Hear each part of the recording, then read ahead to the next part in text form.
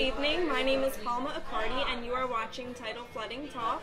We are brought to you by the New Jersey Coastal Coalition and filmed live every Sunday night here at the Irish Pub in Atlantic City.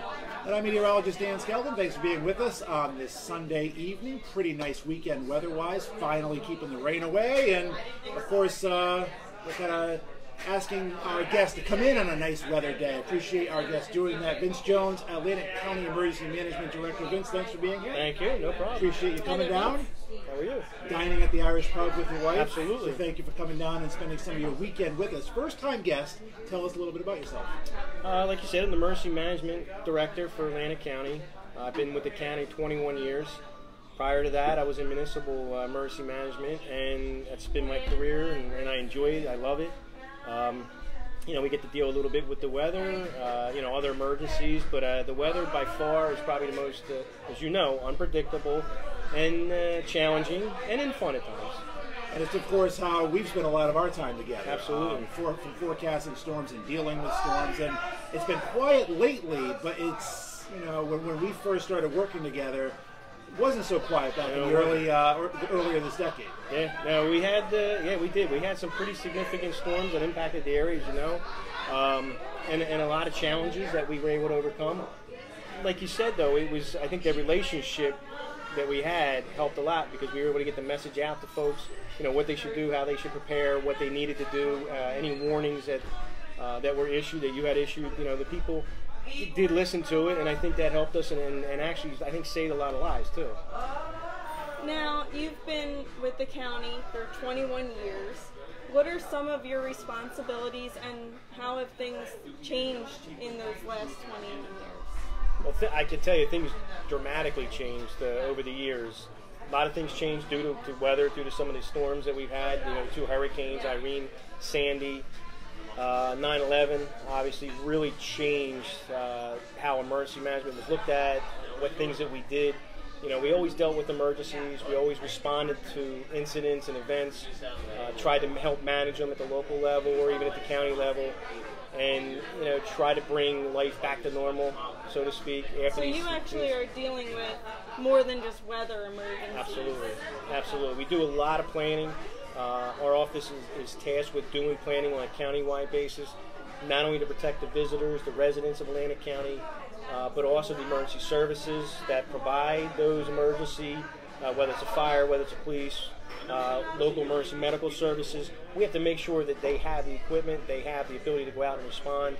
Uh, and when you talk about weather-type conditions, they rely on us. They rely on folks like Dan you know, they're out there in harm's way. What are they looking at? What are they going to be faced with? What are the challenges that they're going to have, you know, when they're going into these uh, events? You, you, have, you have a pretty large county and kind of meteorologically and geographically diverse county. So you have the Pinelands where you can deal with forest fires. Of course, uh, June 2012, you had you had something we never heard of before, a derecho, which Absolutely. kind of devastated the whole county. You got tidal flooding, hurricanes, nor'easters along the shore. So, so I mean, it's it's a large area with a lot of things that can happen. And that's one of the things I don't. A lot of people, a lot of residents that live here, don't realize, like you said, how diverse Atlantic County is. Where we could have, you know, everything from the coastal flooding uh, along the Barrier Islands, Atlantic City to Longport, Margate, Ventnor. Then you start moving inland, you get the challenges there with the flooding, you know, Route 322, Route 30. And then you go out towards Hamilton, and when we start talking about snow, you know, we can go from two to four inches of snow along the coast. You can have upwards of a foot of snow in Hamilton. Right. You know, so it is it's absolutely diverse. Uh, again, the challenges with the first responders, we, you know, you have to make sure that, you know, whatever weather and what we're doing along the coast, that might not be the same challenges or the same things that we have to articulate to them when you start moving towards Mullica, Hamilton, and out towards Buena. Things are going to be different out there. Now, obviously, there's a lot of moving parts and factors with emergency management. What is the communication like among the state, the emergency personnel, the county, and even local municipalities? How does that function? I think the good thing for us is it occurs al- almost every day, daily, the communication. Uh, we get different reports from the state that come through our office that we push out to the local emergency management coordinators, the local emergency responders. uh, the training that takes place on a daily basis at, out at our office uh, that allows them to come and interact and the network. And we've said this from the very beginning when I first came to the county, and even when I first got involved with emergency services. There's nothing better than the networking that takes place, whether you're at training, whether you're at a conference, uh, even when you're out on the scene of an incident. Be able to put a name to a face, be able to, to realize what individuals have, what their abilities are, uh, even their shortfalls, and how we can overcome some of those shortfalls, and be able to handle it the next time we have a situation, handle it even better. And that was the case when you know you look at when we dealt with Irene to Sandy, you know, things that went right, things that went wrong, and how we handled it, you know, the next time, so to speak. So it was really good. Now, part of like my job is forecasting. Your job, of course, is is taking that forecast and implementing the decisions you think are best for the residents, evacuations, so on and so forth. How was the Irene to Sandy, um, you know, um, challenge? How the Irene to Sandy kind of differences? For instance, Irene was supposed to be bad. We kind of got off easy. Sandy, therefore, maybe was underestimated by some residents. Kind of the old thing where everyone thinks the next storm is going to be like the last storm. So, so how do you how do you communicate that? Like the the differences that happen from one storm to the next, the, the challenges that you know everyone should treat this each storm as its own kind of being. Like like how is that? How is the Irene to Sandy in your office? Um, met the challenges. Apologize for the jumbled. No, no, that's and that, but that is a good. I, I, I was fortunate enough. I was able to go out and speak to a group um, of seniors just last week, and, and that was one of the things that we talked about. They said, you know, it's got to be hard for you to take, like you said, a forecast and try to relay that to the people, and then you know tell us what we should be doing. The hardest thing with our job is is just that is getting people engaged, getting people to listen, getting people to prepare. And I tried to tell them that if they have a plan and if they know what they're going to do and how they're going to react, it's that much less that I have to worry about them. Going, like you said with Irene, Irene was the first time we issued an, a mandatory evacuation order. And you know, they, I, one of the questions they asked me was, you know, how do you quote draw that line in the sand? Right. And you guys, you guys use Route Nine. We use Route story, Nine, right? but, but it's tough to draw a line, right? Exactly. I mean, if, you know, where where do you say, okay, everybody on this side got to get away from that wall of water so you don't drown? Uh, and one of the one of the questions that I had was uh, from two individuals there who happened to live across the street from each other on Route 9. And she said, I packed up and left, and he laughed and said, I was watching her drive off and wondering, hmm, how's he going to get that water to stop in the middle of the road Right. and not come onto my property? And, you know, it's those challenges, it's those things that we have to deal with and we have to overcome. One of the one of the things that uh, when I said you know I was talking about lessons learned and, and things we have to our takeaway some of the failures, and I, and I will admit it, some of the failures that we had in Irene was for the sheltering and the evacuation when it came to transporting and moving the people. We had a plan, the plan was executed. Unfortunately, the magnitude and the amount of people that did did heed the warning and left, uh, we weren't prepared for that many people. We immediately addressed it, got the people on, on buses, and it was the location of the shelters trying to shelter everyone that evacuated. We actually were overcome by evacuees. When we fast forward to Sandy, one of the things that we did immediately after Irene was to fix that. We, we can't just say, well, it won't happen again, and you know maybe it won't be that bad the next time. We have to immediately sit down and say, okay, this plan failed. We got to change it, and we did. And with Sandy, uh, and even moving forward, our residents aren't going to be bussed all over the state of New Jersey. They're going to stay within the county. We're going to make sure that they're safe. Um, it might not be the most pristine conditions. It's not going to be like going to a motel and staying overnight, but we're going to get them out of harm's way and we're going to keep them in the county so they can return back home. And that's one good thing that comes with storms. I mean, because you can have plans, but until they're implemented and you see the strengths and weaknesses, I mean, the one good thing is it makes your response to the next one better. Yeah, absolutely. And Sandy, Sandy was tough. I mean, you and I had conversations where, you know, this storm's really going to make a hard hook Right. to the left. You know, when you're looking at it on the map, I, I, people still doubted that, and I think that was a lot of the reason why people didn't leave. Is, you know, you're looking at this and you're going, "There's no way. There's no way that this storm's going to do what they're saying it's going to do." When in fact it did, and it caught a lot of people off guard. Now, how do you determine, okay, we definitely need to call an emergency evacuation, and how much time ahead is normally given? Well, for a hurricane, let's say. and a lot of people ask that. They say, "How you know? How do you come up, or how do you make that decision?" And it's not. Believe me when I say it's not done uh, quickly. It's not done in a vacuum. There's a lot of factors that we have to look at. The biggest factor is the forecast. We need to know where the storm's going to track. When is it going to be close enough to us? We're going to start feeling the impacts. What are those impacts? Is it heavy rain? Is it wind? Storm surge? You know, how, what are we looking at when we talk storm surge? How much of that water is going to impact our coastline? Then we have to look at our infrastructure, meaning the roadways. Eh, You know, I know during a normal heavy rain what roads are impassable because of flooding. Well, now you take this, this you know, more than just your normal rainstorm. You're looking at a hurricane, wind-driven rain, uh, water that's being pushed by by the storm itself. So that lessens our time to have those roads open that they're, can actually travel across them.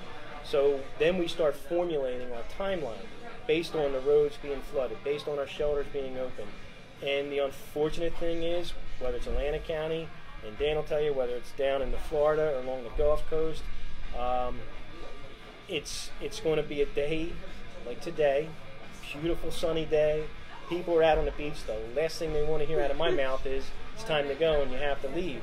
But the timing that it takes to move all these people and get them out of harm's way, that's what's going to happen. And you know, it's not an easy decision. It's a decision, believe me, I, you know, we don't look forward to making because there's a lot of risk also that goes into it.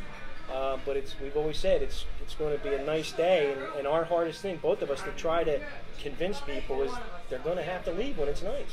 Because we've seen, uh, we see it every Sunday in the summer when just your weekend tourists are leaving and our roadways are, Yeah. are jam packed. Now you have everyone waiting to the last minute on our on our roadways. They just can't handle it. Plus, you know, South Jersey, especially like say Long Beach Island and uh, you know Cape May County, even Brigantine, Brigantine. One, one way on, one way off. You know, you're gonna have bottlenecks, if- especially if people do, as humans do, wait till the last minute to. Uh, to wait a second. Well, I, I, well, at least I wait Are you calling me out? No.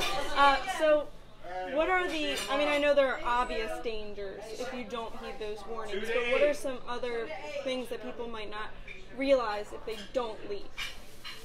if they don't leave, again, when we talked about the roads, the, the, the, it's going to come to a point where the roads are going to be completely impassable. The road, the water's going to be over top of the roadway, so you don't know what's below that water. Should never ever drive through or across a flooded roadway. Uh, you've seen some pictures. I I know people saw where the firefighters were pulling people out of vehicles, or police officers were grabbing people. The, the vehicles ended up getting washed away. We don't want that, so that's why we ask people to leave early when they can travel across the roads. But the danger is the roads are going to be closed down. The other concern that we have, um, and, and as a first responder, we have to think about it. There's going to come a point where we can't risk those responders going into those those certain conditions to try to get the people who didn't heed the warning and didn't leave. You know, they're going to be calling 911. They're going to be they're going to want somebody to come and get them. But unfortunately, there's a point where it's absolutely too dangerous, and to lose the life of a first responder to try to get somebody who just didn't leave, you know, it's risk and benefit, and, and we can't we make that that call, and, and sometimes the risk is too great, and you know. These people are going to be left. They're going to be left to have to, you know, ride out the storm, so to speak, on their own. Did that happen with Sandy, where first responders could not get to people? It did. Unfortunately, it happened in Brigantine. Uh, it happened all along the Barrier Island. Uh, and there's a frustration. Believe me, there's a frustration. They want to go out. They will It's their put themse- It's in their I'm instinct. sure, It's exactly. It's their personality. They're going to want to go, and they're going to want to get these folks. But again, they're putting themselves at risk. They're putting others, other first responders that are with them at risk.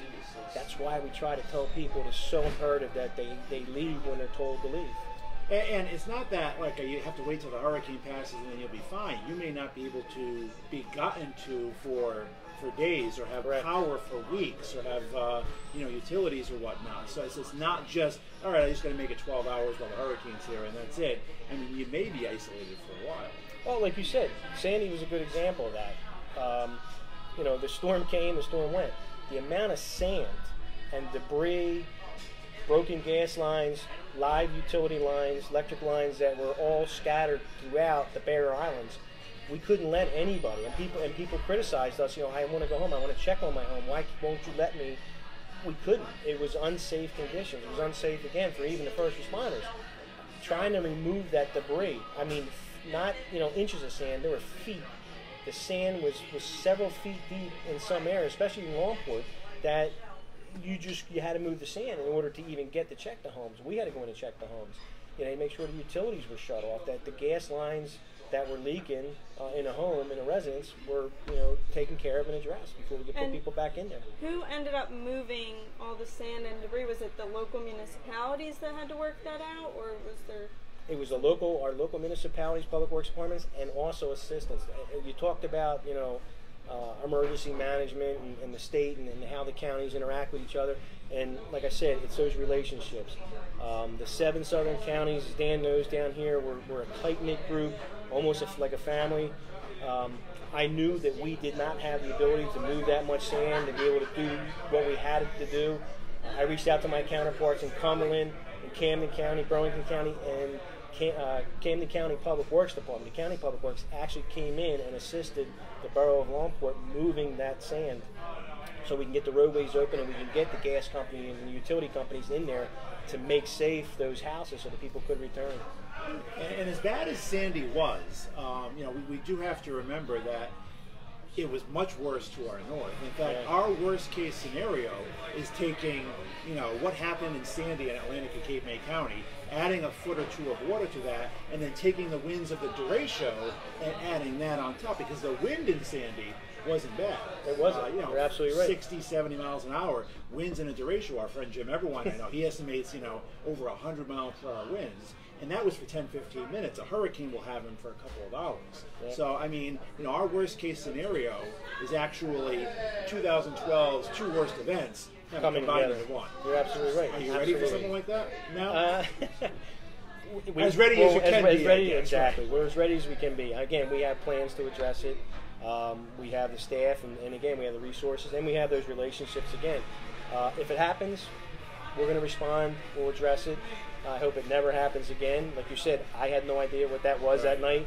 Uh, personally, I, I thought we did have a tornado come through, you know, the first area that I was able to get to, and then I was talking to some of the my staff, and then they they were miles away from me and tell me that they were experiencing the same damage and looking at the same damage. I said that was either one big tornado or multiple tornadoes, and it wasn't until we contacted the weather service that they threw that name out, and I'll, I'll never forget it. Did you ever hear of that name before? Absolutely not. Now, do you think it was a coincidence that such major storms occurred in that time period? So It, it was an close unfortunate connected? coincidence. Yeah, absolutely. I, I mean, it's with Vince in the county and everyone. All emergency managers and meteorologists were tested often from like 2011 to All the way, about yeah. 2016 up to about Jonas, right? Yeah. With the massive tidal flooding that brought Yep. and and the snow and the slush and everything else. I, I'd be remiss if I didn't mention that Vince and I actually traveled to New Orleans together right. to relay our experiences uh, from Sandy to the National Hurricane Conference, which was a great experience. It And was, Bourbon's not, and not just Bourbon Street. You know, um, we- did some work while we were down there too. But Yeah, it's you know it's unfortunate that we had to deal with those storms, but it's great that you can kind of impart what you learned and your experiences to you know a national platform. And it, and it was, and you're, and you're right. It was. It was actually. It was an honor to go down there and be able to speak to them. And like I said, there we're, we don't. We're not hiding anything. Um, there was a lot of things that we did right with Irene. There was a lot of things that we did wrong. Again, we fixed them. We made those changes. So when Sandy came, uh, you know, we were better prepared. Not 100% again because we don't know what you know. We don't know what any one storm is actually going to bring us, uh, the magnitude. But it's it's being able to look at you know what the possibilities are, looking at the forecast, like I said, and then being able to respond to whatever that outcome is, uh, good or bad, and, and dealing with it. And it was to be able to give that information uh, to them, and, and some of the takeaway that we got was talking to others who had obviously down there. Uh, who have gone through Katrina, had gone through some other hurricanes, and it was some. What was interesting, it was similar things. I mean, what what my frustration, they was the frustration that they felt. So I knew I wasn't alone, and I, you know, just the way I was feeling, um, and it was. It was a really good time. Well, that's sort of why the New Jersey Coastal Coalition formed in Right. the beginning anyway, because all of the municipalities were dealing with the same frustrations after Sandy. And it- it's, it's really a, And still are. sharing ideas and, and learning from each other and what works for some towns, other towns pick up. And yeah, it's, it's a great uh, sharing of information. And this show is called Tidal Flooding Talk, so we always like to bring it back to tidal flooding on occasion as well. How do you think, I mean, and especially recently, let's say since Sandy, you know, how, how do you think the, the frequency, the severity, uh, you know, just the overall occurrences of tidal flooding have changed along the Atlantic County shoreline? It's absolutely changed. Uh, you know, you and I were talking earlier. Sandy, Sandy absolutely did something to our coastline. Um, we have areas uh, along, you know, between Egg Harbor Township and Somers Point. We had flooding there in the past. You know, whether it was the full moon and then, you, of course, you get that nor'easter coming Right. up. So we were used to that. But what we're seeing now is is areas, you know, really becoming impacted when we have these coastal storms. When we have even just a couple days of heavy rain. Uh, that again, we didn't. These this wasn't the case years before Sandy. Uh, and a lot of the back bay, just just some changes to, to The the channels the shape, channels, everything. So it, it, it truly carved, if you will, uh, a new path uh, for some flooding that we're seeing now that we didn't see before.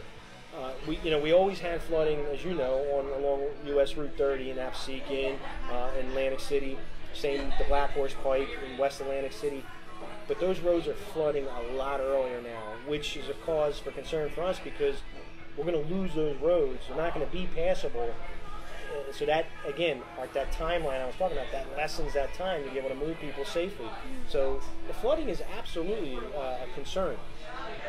How do we? What do we do to mitigate it? Uh, you were saying with the Coastal Coalition, that's what we they're looking at. That's what we're looking at with them. Is you know, are there things that maybe we can do to try to, to lessen that impact? Maybe delay the, the roads from flooding a little bit. You know, do we look at the elevation of the bulkheads? Do we look at the elevation of the roadways? Maybe. So there, there are things that are in play right now. It's being addressed, and I know a lot of people don't. You know, they think we just sit back and wait for a storm to come, and then we'll, we'll address it or we'll deal with it when it's happening. We're doing it way in advance of a storm coming. We're trying to address these things. Now, what are some ways that even just residents can do to prepare for a storm? what we tell we tell every resident, even visitors, is you know, like Dan was saying earlier, it depends on where you live. You know, if you live in Margate or Ventnor or even in Somers Point, if you live you know close to the coast, you got to keep an eye to the ocean. You know, you're going to have coastal flooding. You're going to have uh, storms, coastal storms that are going to come up. They're going to impact you.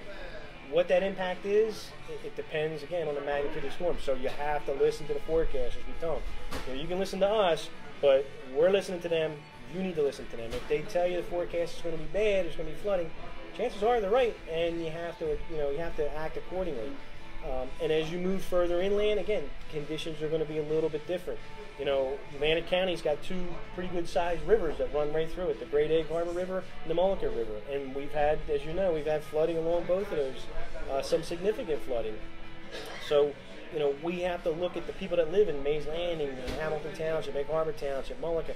They got to keep an eye on the river, where the people in Ventnor might not be too concerned with the river. So it depends on where you're living. You need to be cognizant of, of what could happen in your neighborhood. Uh, and, then, and then again, take those those precautions. You know, our office is always available to help if they if people want to know, uh, if they want information, they can go to the web page. You know, there's so much out there. FEMA's web page has a ton of information. And the you know, local Red Cross. There's just there's so much information out there, and we tell people, you know, you're the master of your own destiny. So get the information, make your own decision. I, you know, a lot of people call and say, well, "What do you think I should do?" I can't make those all those decisions for them because again, I don't know how many family members in the house. Do you have pets? That's going to impact an evacuation too if they have pets. You know, where are you taking your pets? So every household is going to have their own needs. Their own plan. We tell everybody you have to have your own individual plan that meets your needs. Has your job become easier or more difficult in the in the changing world of communication now? You know, before um, you know you'd issue a press release or, or there'd be a statement that you'd be you'd be an interview on TV or in the newspaper. You know, now with social media and all these different platforms, uh, you know, is it is it a easier way to spread information and reach more people, or uh, because of the ease of information being shared? do you have a lot of misinformation being shared? And is it more work for your office, or is it is it a little combination of both? Social media absolutely changed the way we disseminate uh, information in emergency management. I mean, I'm, I still get criticized because I'm old school. Uh, you know, the fax machine. I, I still, you know, we were sending out the fax, like you said, try to get in front of a radio, try to get in front of a camera. That was our way of getting information out. Social media absolutely changed it some can say it changed it for the better. Some can argue and say, well, the, the, problem with social media is there's so much information out there now that people are getting just bombarded and blitzed with information. So, what's that right piece of information that they should take away? Again, me being kind of old, that's my concern is that somebody's going to miss the message, or like you said, misinformation's out there because as we know, there's stuff that's posted, stuff that, that's tweeted out there. Well, I think, I think every single hurricane and nor'easter brings a shark into the streets of Atlantic City, right? I mean, that, that, every that same storm, picture, yeah. right? That same picture, yeah. So it does, it does spread misinformation. Yes, you guys got to weed through that. So I always say, um, you know, find your reliable source, whether Yes. it's for weather, and Yes. obviously. Atlantic County, there's no more reliable source for emergency management information than the county emergency management office. So find your source and stick with that, and or, or multiple sources, but Yeah. they do have to be reliable. they have to absolutely be reliable. And, and you know, that's a lot of people that are uh, really starting to use social media, if you will, uh, to keep track of what's happening, emergencies and weather and stuff. Like Dan said, that's the key. They have to get reliable information, accurate information, And the latest and the latest information. information. Absolutely. Uh, it's imperative. I mean, and I, you know, going back, and I, and I got to give him credit. Going back to that derecho that night, um, you know, I, I was watching the news, and when he signed off, he's, you know, he kept telling me, you know, he's got some storm. Keep an eye on these storms coming through, and it wasn't. I don't think a half hour, forty minutes after that, I never saw a purplish orange type sky like I saw that night. Uh, it was scary. It was the scariest weather It I was ever scary. saw, and you know, it's not a made-up word, but it, it was a new word to our vocabulary. Yes, yes, it was. And you know, I mean, Sandy uh, taught us a hurricane can make left turns, and in the late October when the ocean's 50 Even to something New degrees, Jersey, you can make a left turn. it can Yes. make- yeah, left turns are not popular in New Jersey, Yeah, but but- it made a left turn right in New Jersey, and you know, I mean, our vulnerabilities. I, I think we had a little bit of a kind of sense of false security because we hadn't had a hurricane in a while. We had never had a county-wide derecho. Um, you know, now I think everyone who has been here since that time knows we are vulnerable now. Knows there isn't a bubble over South Jersey anymore. You're right, and I, and I hate to say that you know sometimes it takes something like that to change people, but I've talked to uh, dozens of people who made the decision to stay back with Sandy, try to ride it out, and they've said to me, you know, they will never, ever make that wrong decision again. They said when you say it's time to go, we're going to go. Because they said it was the scariest thing that they've ever had to go through, and a lot of them didn't know if they were even going to make it through that night. Uh, they said when the water started coming in, and you know getting into the first floor living area and they started to go up their stairs and they were watching the water come as they were climbing the stairs the water was coming up each stair uh, getting closer and closer to their second floor that was enough that it scared them they said next time they say you know, leave we're going to leave so it was scary You're powerless at that point. That's right. absolutely Literally absolutely powerless. And You've been watching Tidal Flooding Talk, brought to you by the New Jersey Coastal Coalition. Our guest this week is Atlantic County Emergency Management Director Vince Jones. Vince, how can people reach out to your office with any any questions or uh, you know to get any information? What's the best way to reach out to you guys? if they need information, uh, regardless of whether it's weather-related information, whether it's that you know what kind of kit or what kind of plan they have for their house, uh, or even if it's information relevant to their local emergency management office, they can contact us at 609-407-6742 and we will send out that information to them. They can also go to our webpage at www.aclink.org and click on emergency preparedness link. And again, all the information there. There's other links. Uh, there's weather information there. And, uh, you know, again, we tell people if they're prepared, that lets us be able to be prepared to help others. Now, do we have any uh, before we Uh, close no the show? Facebook any- questions. Lots of hellos to, to Vince, to Palma, to, to myself, uh, Kristen Kaiser, uh, Betty and Morgan Wick. Nice to have you guys on. Uh, Peter Griffin. Uh, hi to you, Scott Griffith, Maria Affinetti. Nice to have you guys on too. Hope you guys are all enjoying the nice weather weekend. I mean, Vince loves these, right? I These- love it. These nice, quiet. Um, right. This is kind of the time of year where we're past nor'easter season. We're not in hurricane season yet, so you know it's usually a quiet time for you, right? Yeah, but you had said it earlier. Again, we, we there's each year, each month brings something, uh, but we are, you know, again, we're still forest fires. You know, are still prevalent right now. Still, even though the trees are greening up, uh, when that ground floor, you know, starts to starts to heat up. Uh, and again, anything, you know, we're in hurricane, coming up on the hurricane season soon, a few weeks away, so it can happen at any time. I mean, we've even had some hurricanes, which was interesting, uh, even earlier before the season started, and even a couple that went a little beyond the season. So Yeah, it's really a year-round threat. Yeah, it and is. like you guys Right. said, it, like you said, it's a year-round. I mean, you, you don't have any time off. You're always preparing. You're always planning. You're always working. and training too. I mean, the other thing is we just don't we we're constantly in a classroom like anyone else. Uh, you know, we got to stay sharp, and we got to be able to. In order to help people, we got to keep our skills honed. So we do. We we're in, we're taking training classes, whether it's a one-day seminar or it could be a two-week, ten-day class that we're sitting in, and, and we continue to learn and you know make improvements. Well, we do thank you for all of your hard work, and Thank of course for coming out here on Sunday night. Uh, we won't let you go without one of these, though, an Irish pub T-shirt. So next Thank time you. you. come by, Thank you very much. and Next time it will be wearing it.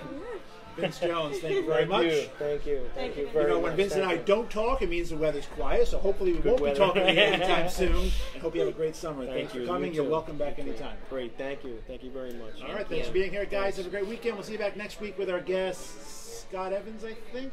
is that next I'm week? not sure. Well, we'll have a great guest lined up, and uh, we'll see you back here next Sunday, 7 p.m. Thank you.